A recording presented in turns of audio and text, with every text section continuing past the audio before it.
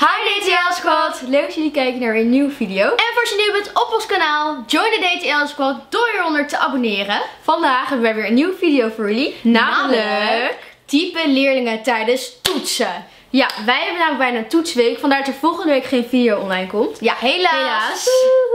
Maar goed, we moeten gewoon deze toetsen eventjes klaar hebben. En we Ja. moeten gewoon even eh, oké cijfers halen. En dan kunnen we weer leuk filmen. Ja, want dan hebben we dus herfstvakantie. Maar wat ons dus is opgevallen, tijdens toetsen zijn er wel degelijk genoeg type leerlingen. En wij Ja. dachten, laten we daar een mooie video van maken. Ja, dus allemaal type leerlingen tijdens de toetsen in de toetsweek. Of gewoon tijdens toetsen in het algemeen.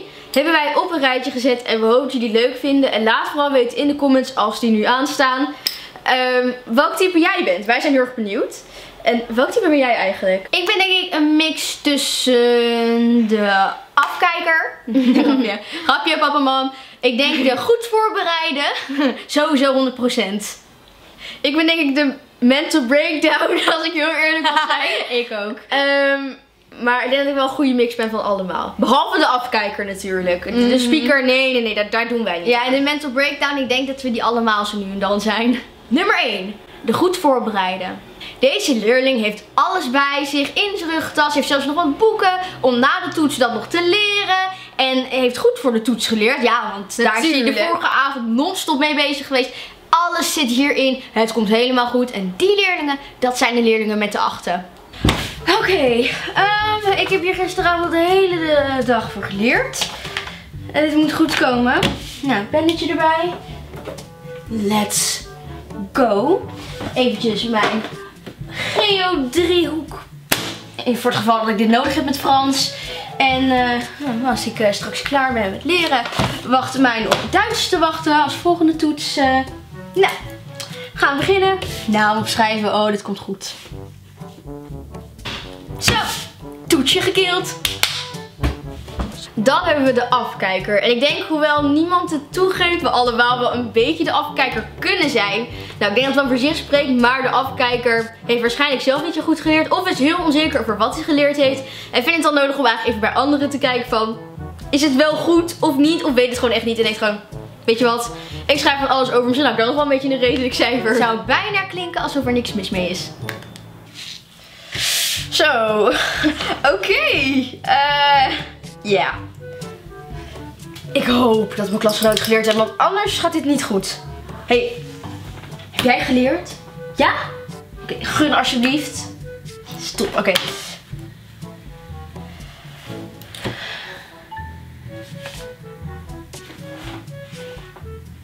Waarom moet je nou zo onleesbaar schrijven? Oh ja. Even je elleboog weg. Elleboog weg. Weg. Ik kan... Sommige mensen zijn zo egoïstisch. Niet normaal. Hey, kijk dan. Oké, thanks. Ja, thanks. Drie keer kloppen voor A, één keer voor B, twee keer voor C. Twee keer voor C. Oké, top.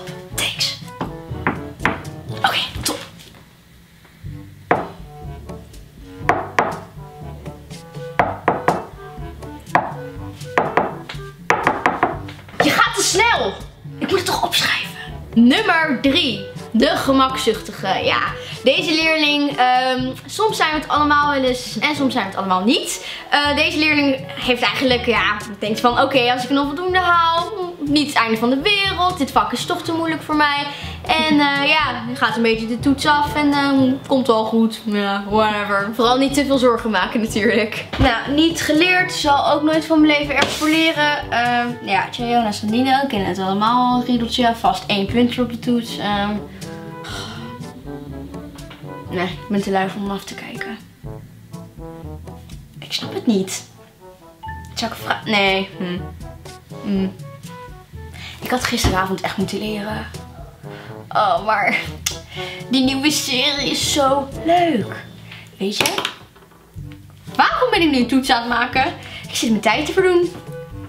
Nou, iedereen is natuurlijk wel zenuwachtig, maar deze leerling, namelijk de zenuwtikker uit het op een, als je aan mij vraagt, erg vervelende manier. Ja. Door bijvoorbeeld met zijn nagels te tikken, met zijn pen te tikken, gewoon allemaal vreselijke geluiden maken waar je niet op zit te wachten. En En waar de hele klas ook niet op zit te wachten. Dat zei ik. Oh, ik ben zo zenuwachtig. Niet normaal. Ik heb amper kunnen slapen. We gaan het gewoon ons best doen. Geen stress. Oké, mijn naam. Mijn naam. Oh, wat was dat ook? Naam. Amari, dat was het. Ja. Ja, oké. Even met dat getik. Hou even op. Dat is normaal, joh. Gelijk agressief.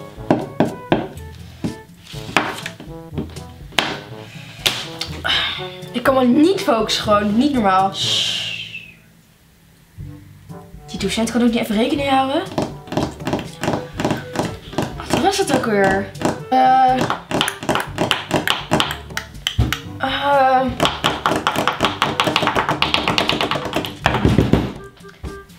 ik weet het niet. Wat was het ook alweer? Oh, dit geeft... Nummer 5. De zieke leerling. Gezondheid. Deze leerling is of verkouden of moet non-stop hoesten, heeft een rode neus. Je ziet dat die leerling niet zoveel slaap heeft gekregen, maar toch, toch naar school is gegaan om de toets even te knallen. Maar dit leidt de andere leerlingen wel een beetje af, helaas. of met zijn neus te knallen. Atjoe! Oh, ik had thuis moeten blijven.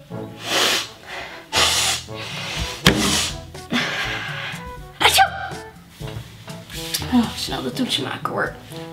Atjoe!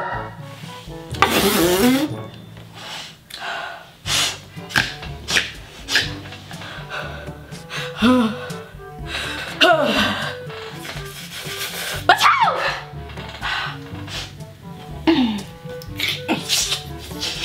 Heb je deze nodig? Ja. Gadver. Was al gewoon thuis gebleven of zo? De toetsweek is natuurlijk erg stressvol. Al die proefwerken. Soms kom je gewoon niet aan je slaap toe. En dat heeft dus deze leerling, namelijk de oververmoeide, dus overduidelijk ook last van. En laten we zeggen dat dat resulteert in het feit dat hij gaat slapen tijdens de les. Of gaat gapen. Of gewoon simpelweg niet zijn aandacht erbij kan houden.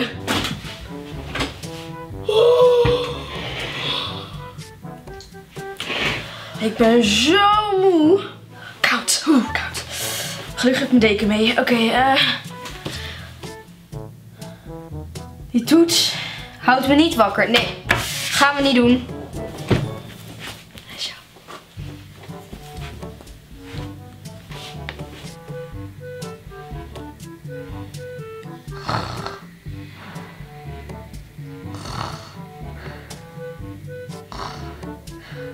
Nog vijf minuten, klas. Vijf minuten.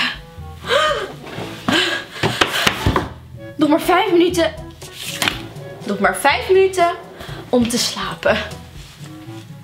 Nummer 7. Degene die niks bij zich geeft. Deze eh, leerling heeft waarschijnlijk uit de stress of zo. En zijn pen, en zijn potlood, en zijn gum of iets wat hij nodig heeft voor de toets. Gewoon simpelweg vergeten. Hij is heel onvoorbereid naar de toets toegekomen. En eh, ja, dan eh, moet hij maar gewoon even improviseren. Heeft iemand een pen, alsjeblieft? Iemand een gum, please? Toets, toets, ik was al laat.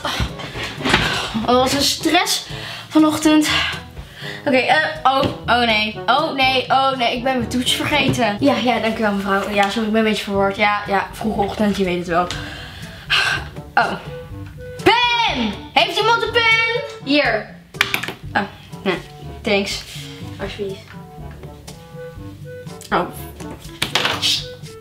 Passer. Heeft, heeft, hey, heb jij een passer? ja, hier.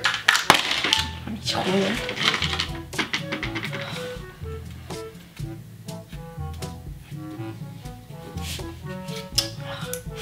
Maak met een fineliner de grafiek. Wie heeft er nou weer een fineliner bij zich? Alsjeblieft. Thanks.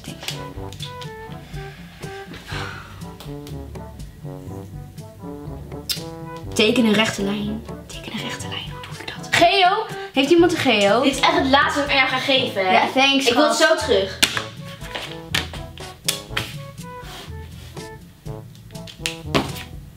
Dank je.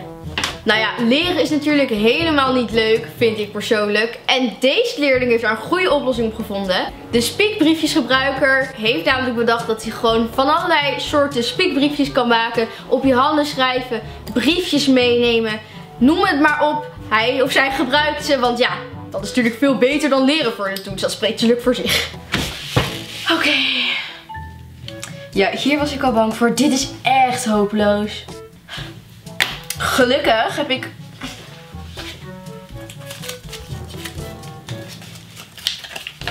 Dit is het niet, dit heb ik niet nodig. Wat is het getal? Ja, weet ik. Hm? Weet ik wel. Wacht, waar is hij nou? Ah ja. Uh, wat betekent het woord Rubicone? Welke naam van? Ja, ik. Ah. Komt nog goed die brief. Die kennis van mij, de algemene kennis. ah, ja.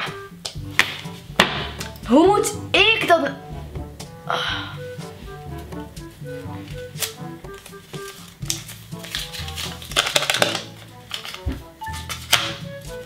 Hmm, wat staat hierbij? Nee!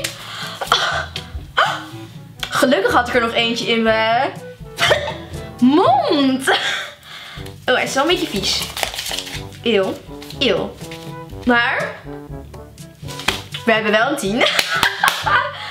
I'm so clever. Nummer 9. De mental breakdown. Ja, iedereen heeft het wel eens. Als je in de stress raakt, dan word je gewoon helemaal gek. En op een gegeven moment uh, zit de maat vol. Ja. En dan gaat het eventjes niet. Ja.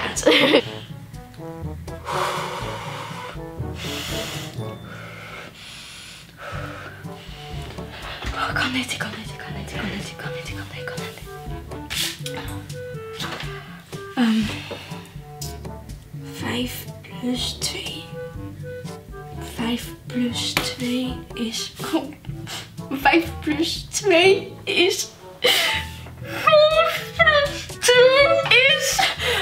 7? nee, het kan geen 7 zijn. Oh, is mijn mascara een beetje uitgelopen? Oh ja, thanks. En dan als laatste de opgever. Nou ja, ik denk dat het wel voor zich spreekt. Maar dat is natuurlijk dat diegene, mij niet uit die hard geleerd heeft of niet geleerd heeft. Hij denkt, ja, so be it. Dit wordt hem niet. Laat maar, schrijf gewoon mijn naam op, lever hem in. En lekker snel klaar. En lekker ja, lekker makkelijk. nou, ik zeg je eerlijk, ik heb zo'n idee dat dat niet goed gaat komen hoor. Ik en Grieks. Nee. Maar ja, hè, we gaan het proberen.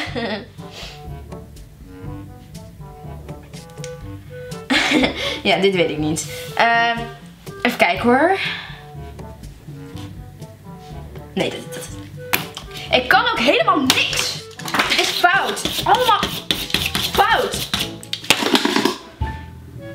Ben er klaar mee. Nee, we gaan het ook gewoon niet proberen. Mevrouw? Ben klaar. Nou, dit was dus alweer de video. We hopen dat je het leuk vond. Doe vooral een duimpje omhoog en als je het leuk niet te abonneren. En laat in de reacties weten welke jij bent. Oh.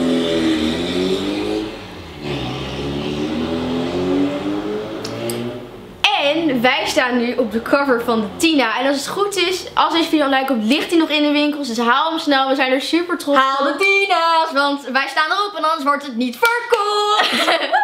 Nou, wij vinden het gewoon super vet dat wij op de cover hebben mogen staan. En ja. het is echt een mijlpaal die we bereikten. Ik vind het zo leuk. En hopelijk vind jij het ook super vet om hem in huis te hebben. Dat is nog maar de vraag. Ja, of om hem te lezen. Er staat ook een interview met ons in. Ja. Die is ook heel leuk. Wij zijn er heel trots op onze eerste cover. Dus haal hem. Albert Heijn, Bruna.